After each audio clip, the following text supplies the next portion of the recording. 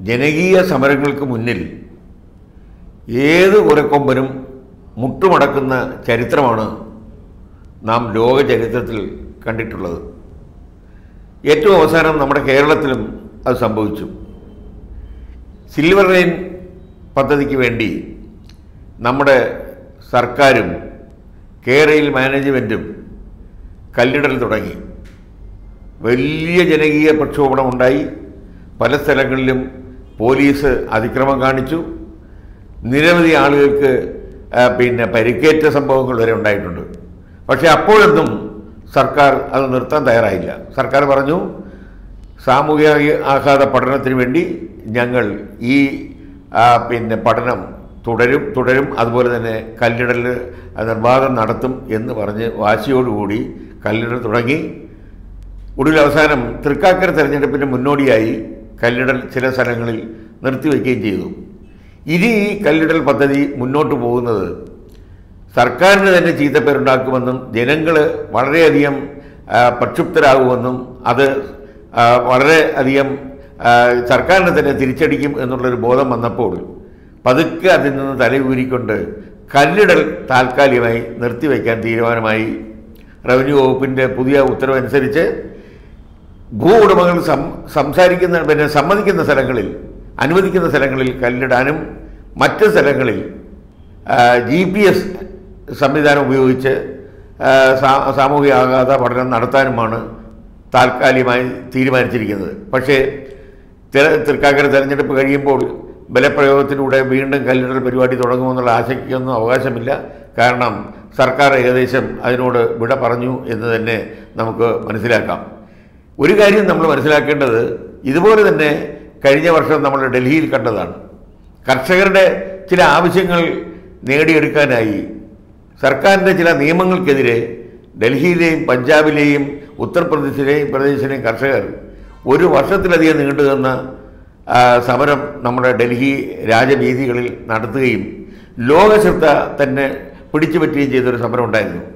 ഉള്ളിൽ അവസാനം ഇതുപോലെ തന്നെ അനങ്ങാപ്പാറ നയമായിരുന്നു കേന്ദ്ര ഗവൺമെന്റ് സ്വീകരിച്ചത്. നിയമങ്ങൾ പിൻവലിക്കാനോ കർഷകരുമായി കൂടിയാലോചിച്ച് അതിനൊരു പരിഹാരം കാണാനോ അവർ മാസങ്ങളോളം തയ്യാറായില്ല. അവസാനം യു പിയിലെയും അതുപോലെ പഞ്ചാബിലെയും മറ്റും ചില തെരഞ്ഞെടുപ്പുകൾ വന്നപ്പോൾ സർക്കാരിന്റെ ഭൂതോദയമുണ്ടായി അവർ കർഷകരുമായി ചർച്ച ചെയ്യാതെ തന്നെ അവർ കർഷകർ പറഞ്ഞ ബില്ലുകളെല്ലാം പുതിയ ബില്ലുകളെല്ലാം അവർ പിൻവലിച്ചു. അവസാനം ബി ജെ പിക്ക് അത് നേട്ടമാവുകയും ചെയ്തു. അതുപോലെ ജനങ്ങൾ ഒന്ന് ഒന്നിച്ചെന്ന് നേതൃത്വം കഴിഞ്ഞാൽ ഏത് സർക്കാരിനെയും മുട്ടുകുത്തിക്കാം എന്നുള്ളതിന്റെ രണ്ട് തെളിവുകളാണ് നമ്മുടെ ഈ അടുത്ത കാലത്ത് ഇന്ത്യയിൽ മൊത്തത്തിലും കേരളത്തിൽ പ്രത്യേകിച്ചും നാം കണ്ടത്. അതുപോലെ തന്നെ സിൽവർ ലൈനിന് വേണ്ടി ജനങ്ങൾക്കെതിരെ പിന്നെ കല്ലിടൽ നടത്തിയപ്പോൾ വലിയ പ്രക്ഷോഭങ്ങൾ ഉണ്ടായിട്ട് പോലും അതിൽ കുലുങ്ങാതെയായിരുന്നു സർക്കാർ മുന്നോട്ട് പോയത്.